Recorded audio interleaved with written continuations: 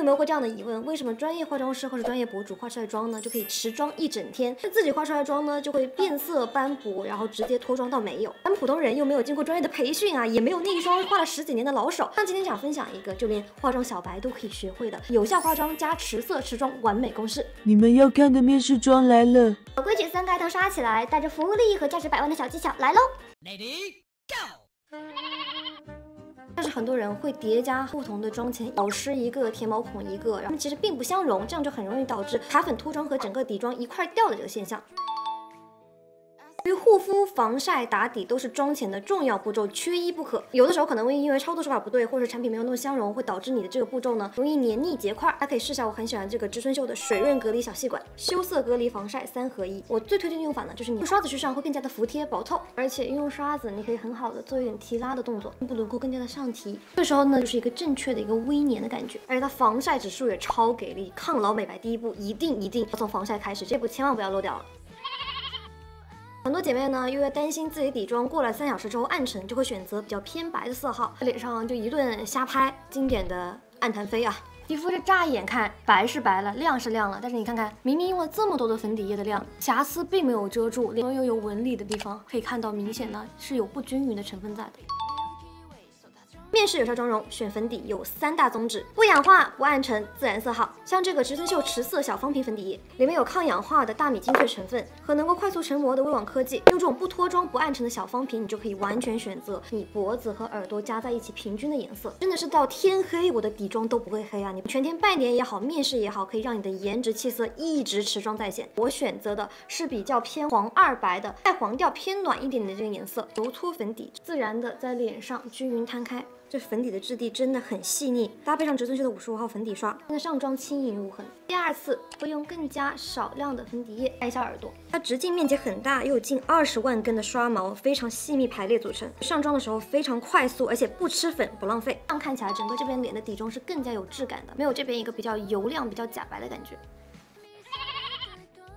定妆这边啊，不要用变成惨白的厚重散粉，然后刷的时候呢，也不要就随便乱刷，定完会让你的脸看起来像艺妓一样的惨白。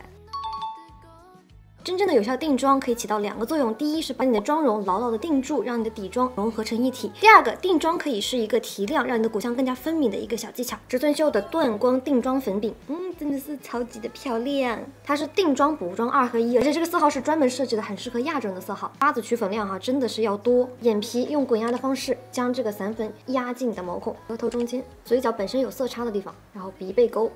人工外扩像我一样的人，我会在这下面做个非常自然的一个提亮，可以让你的线条看起来更加的流畅。其他的地方呢，就是用少量的余粉再清扫一下，是不是这边有很漂亮的高级断光的效果？那这边就是比较假面、比较死白的，实际上遮瑕并没有遮得很好。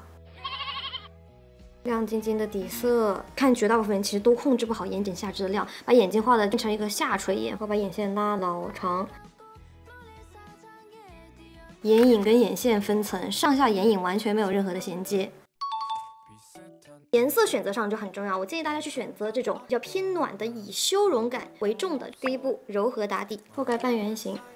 你可以往上提拉一点点，不要超过咱们鼻翼、眼角到想象中眉尾的这条黄金线，上到你的眉毛一厘米左右的地方，这个晕染可以让你的眼窝轮廓更加明显。一直用小打圈的方式，这样会让你妆面干净，然后衔接到后面。同样的颜色，下眼整个范围要带一下，可以把你要的轮廓色和你的打底色混合一下。从眼睛最鼓的地方下手，从后往前打圈晕染，眼尾还是有一个上提的过程。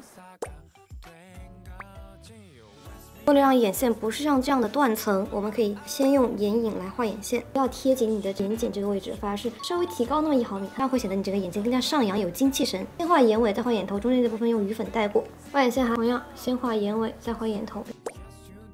让你的下眼更加的深邃。大家非常喜欢的暖棕色来画眉毛，和你头发颜色完全不匹配的颜色。眉头呢，就僵硬的填色，这就是大街上面我最常见到的一种眉毛。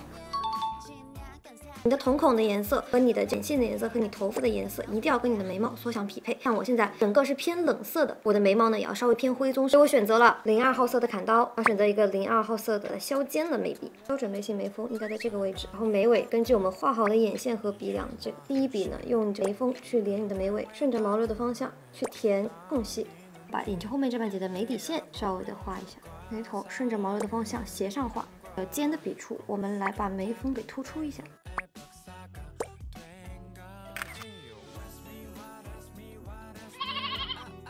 大家这里不用我多说啊，就不要涂这种面若桃花，让你显得特别粉嫩的腮红，面试绝对不 OK。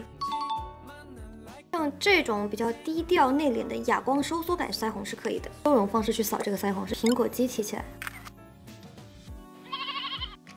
我们的荧光色、玫红色、大红色、紫红色这些颜色通通都抛开。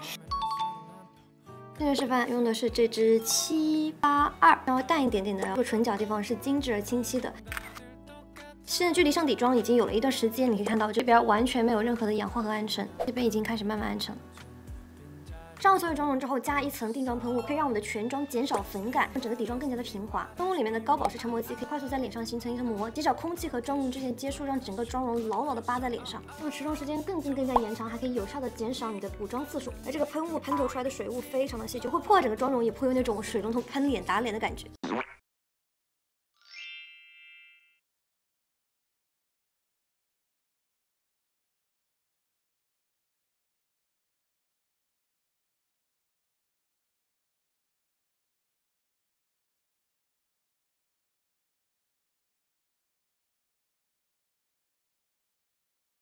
刚刚已经完成了一个小时打卡，接下来呢，我会继续持续我作为美妆博主的每天的工作，每隔几个小时会过来给大家做一下打卡，然后看一下我们的这个持妆效果如何。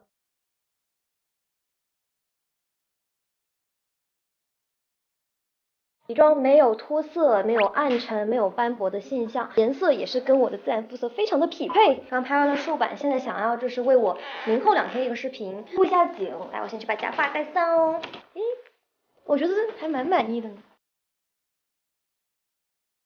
可以可以可以，来看一下我这个底妆，其实持妆效果是很好的，而且没有脱色，也没有暗沉。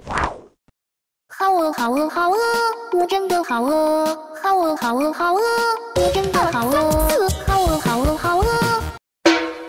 刚刚吃了一顿热量丰富的健康餐，大家看一下这个脸上的细节部分，应该说是完全没有脱妆，然后没有褪色的一个情况，脸的肤色很均匀。我回到家啦，今天是周日，所以我要偷懒看剧。